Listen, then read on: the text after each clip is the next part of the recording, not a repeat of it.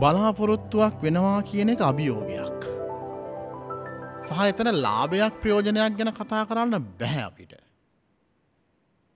මම තෝරගත්ත හිතෝපදේශයේ එකොළොස්වන පරිච්චේද ආරම්භයම අපිට බොහොම කලාතුරකින් හම්බ වෙන වාක්‍යයක් තමයි. එල හොර තරාදිය හොර තරාදිය සමිදුන්ට පිළිකුලකි. හරි පඩි සමිදුන්ට ප්‍රීතියකි. හොරතරාදිය සමිඳුන්ට පිළිකුලකි. හොර කරන මිනිස්සු ගොඩ දෙනෙක් අපි අතර ඉන්නවා. විශේෂයෙන් මම මේ අද භාවනාව කරගෙන යන්න ව්‍යාපාර ගැන. රැකියාවල් රස්සාවල් අතර ව්‍යාපාර අපි කියන්න එක එක මාදිලයේ බඩු බාහිරාදිය විකුණ ගණ්ඩ දරන මිනිස්සින්නේ. කොච්චර නම් හොර කරනවාද කියන්නකො. මොනවද කරන්න ඇති හොර. රැවටිලි බොරු මට මේ ළඟේ දවසක් කෙනවා එක පුද්ගලයේ යම් නිෂ්පාදනයක් ගැන දානවා වෙලද දැන්වීමක්. මෙන්න මේ දේ පානය කරන්න මෙන්න මේ දේ කන්න මෙන්න මේ දේ පානය කරන්න මෙන්න මේ දේ කන්න ඔහුම තව ඇඩ්ටිස්බන්ට එකත් අවිලම් දැන්වීමත් දානවා මම පිළිකාරෝ හලට උදව් කරන්නවා ඔබේ දායකත්වය දෙන්න. පිළිකා රෝගීන් ඇතිවනම යම් ආහාර විකිනීම් මෙ අනි පැත්තෙන්.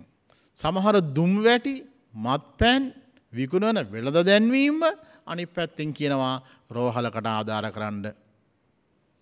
ඇයි මෙහෙම. අපි කාවද මේ රවට්ට ගන්නේ. හොර තරාදිය සමිදුන්ට පිළිකොලක් වෙන්න මෙහෙමයි. අපි ලාභයක් උපදවා ගණ්ඩ යන්නේ යම් නිෂ්පාදනයක් අපි වෙළඳපලට දාන්නේ සත්‍යයෙන්ද. මම මේ අද කතා කරන දේ සමහර අමු අමුවේ කතා කරන උදාහරණ තමයි. මට මතකයි යම් ගොවි පලක්.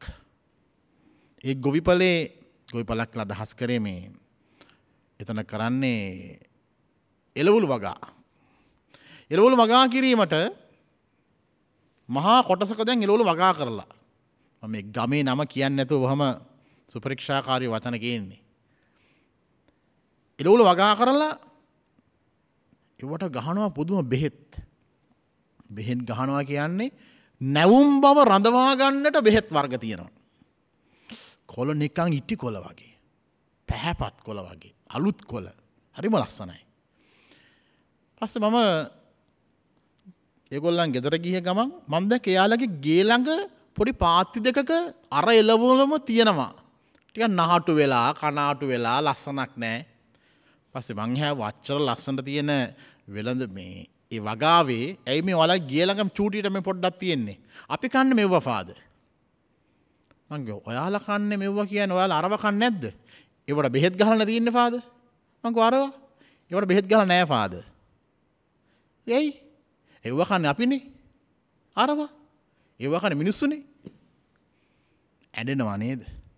ඇඩෙනව නේද මොනාද ඔබට හිතෙන්නේ. විකුණන දේ වසක් කරලා දෙන මිනිස්සු තමන් කන්දෙයි එක වසක් විසක් කරගන්නේ. ඔය වගේම තව දෙයක් වුණා.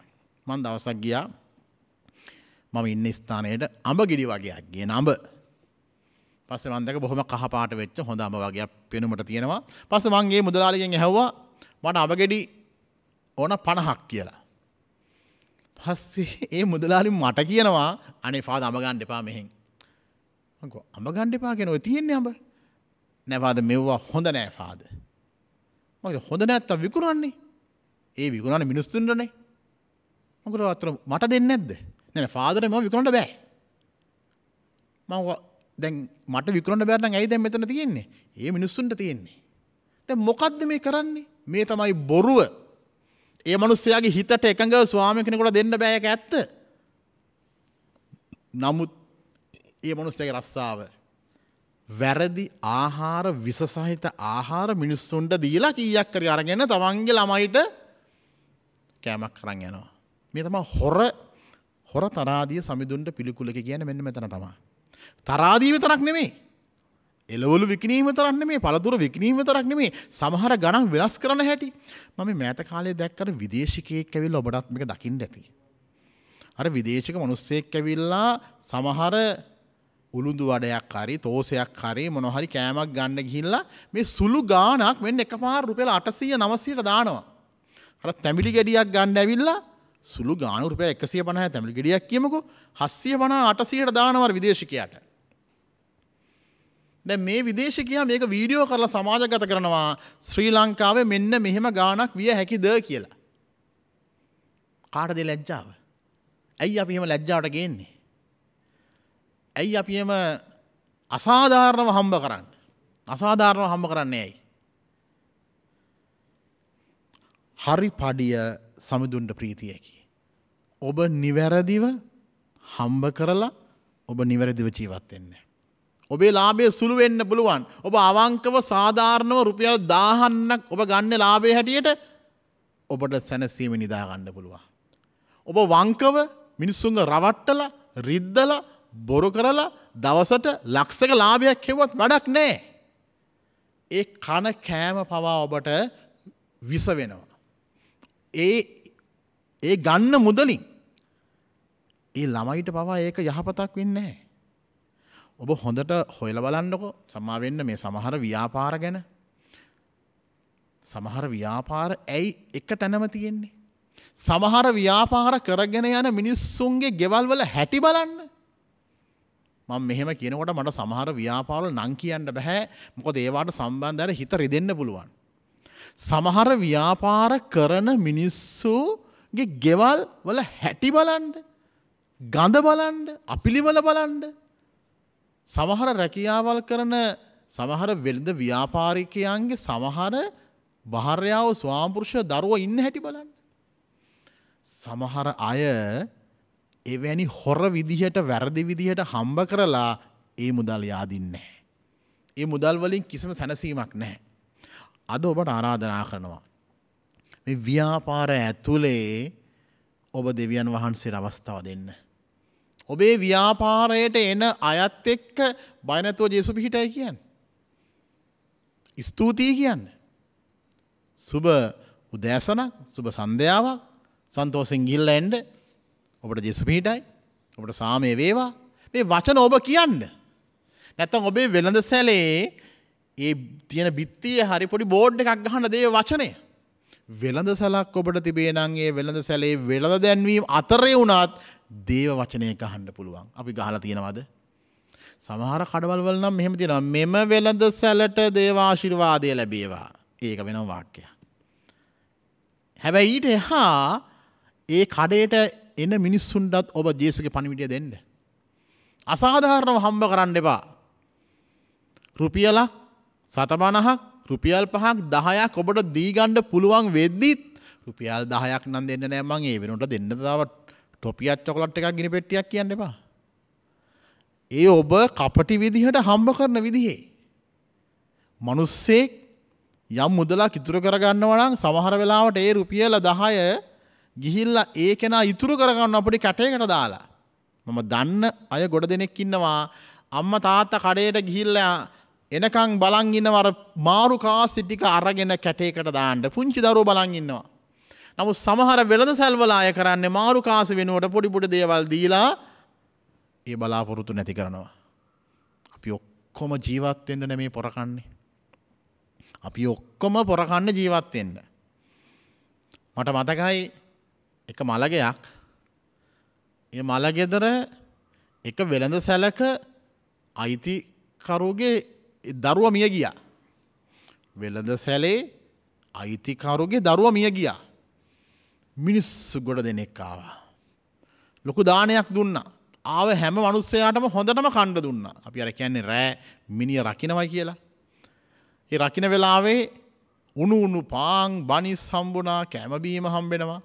ඇයි අර මනුස්සයට තියෙන්නේ ශොප්ප ගන්න කඩයන්නේ හොඳර වියදන් කළා. හැබැයි. ඒ වෙළන්සෑලේ අයිතිකරුමිය ගියා. මිනිස්සු මළගෙදර ඉතා අල්පයයි යාවේ. ඉතාමත් අල්පයයි යාවේ. ඒ ආව බහුතරයක් පවා කිව්වේ මේ මනුස්සයාගේ සිතිවිලි හොඳ නැති බව. අර දරුව මිය ගිය වෙලාවේ ආවා කොහොම හරි යමක් කරගන්න පුළුවන් වෙයි කියලා. නමුත් ඒ මනුස්සය මියගේ කාලේ ඉතාල්පයක් ඇවිල්ලා ඒ මනුස්සයා ගඩු පාඩුකං කියනවා. සමහර වෙළඳ සැල්වල අයිතිකරුවෝ හරි ලෝබයි. හරි ලෝබයි. පල්ලිය වැඩකට මුදලක් දෙනව වෙන්න පුළුවන්. ගමේ සල්පිලට යමක් දෙනවා වෙන්න පුළුවන්. මහා සන්දර්ශනවලට තමන්ගේ නම කියවගන්න මුදලක් දෙනවා වෙන්න පුළුවන්. හැබැයි සමහර වෙලාවට බැරි මනුස්සෙක් ඇවිල්ලා අත පානවනං අනේ මුදලාලි මට කීයක් කරි මට මොනවහරි කණ්ඩ දෙයක්. අයින් කරන්න ඕන තරම් ව්‍යාපාරයක ඉන්නවා. යනවයන්ඩ සල්ලි නෑ දෙන්න. මල්ක තියාගන්න. ඔබට මුදලක් ඔබළඟ බහන්ඩයක් ඇති නිසා තමයි වැනි අය ඔබ ගාවට එන්නේ. දෙවියන් වහන්සේ ඔබට අවස්ථාව දීලා තියෙනවා. නැති බැරි කෙනෙක්කු ගැන සොයා බලන්නට. නැති බැරි කෙනෙකුට ඔබ යමක් දෙන්නට ඔබට යමක් ලැබිලා තියෙන තින් දෙන්න. ඉතින් දෙන්න. හරියට ජේසු ඔබට යමක් වැඩිපුර දිලා තියෙන්නේ ඇයි ඔබට යමක් වැඩිපුර කරන්නට ආරාධනාවක් වෙලා. හිතන්න ඔබට වාහනයක් තියෙනවයි කියලා ඇයි ඔබට ජේස වාහනයක් දිලා තියෙන්නේ. ඔබට ජේස වාහනයක් දිලා තියෙන්නේ පල්ලියට එන්ඩ බැරි මිනිස්සුන් අරගෙන එන්න. ජේසුව හොයන අයව ඒ ජේසුව මුණගස්සන්ට වාහනය දෙන්න. එහෙම දෙනවද එහෙම වෙලා තියෙනවද එහෙමනම් හොඳයි. ඔබට විශාල ඉඩමක් තියෙනවා. ඔබේ ගමේ තමන්ටම කියලා තැනක් නැතුව පාරඉන්න මනුස්සයවට පොඩි ඉඩං කෑල්ලක් දුන්නයි කියලක ප්‍රශ්නයක් වෙන්නේ. නිකන් දෙන්න මං පර්චස් පහත් දෙන්නම් ඔයා පොඩි ගේ කෑල්ල කදාගන්න. මගේ ඉඩමින් පාරඉන්න මිනිහෙකුට ඉඩමක් දෙන්න ඇයි ප්‍රශ්නයක්ද අපි මිය ගිහාම අපි අරංයන් නෑ නිඩ අර වලය කොටසක්වත් අයිතිය දන්නේ. ඔබෝබෙන් අහල බලන්න අවස්ථා මගේ හැරව ගන්න එපා.